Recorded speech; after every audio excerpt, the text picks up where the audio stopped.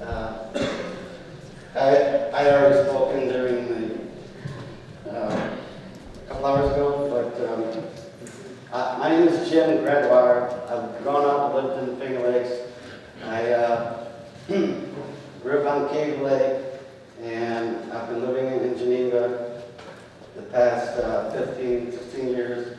I love it. I hate seeing what's going on with the lately. There's uh, pollution going on. There's, there was actually um, a ban from the algae this summer, as some of you guys remember, some of you people remember, um, it was toxic. It was a blue-green algae. Um, I don't know why that happened. But um, I, I'm very opposed to methane being released, uh, the reliance on um, oil, LPG, any kind of uh, fossil fuel.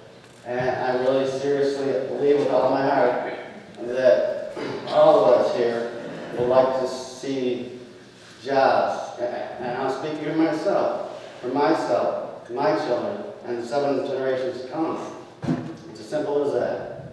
Um, And uh, this is what I feel passionately about.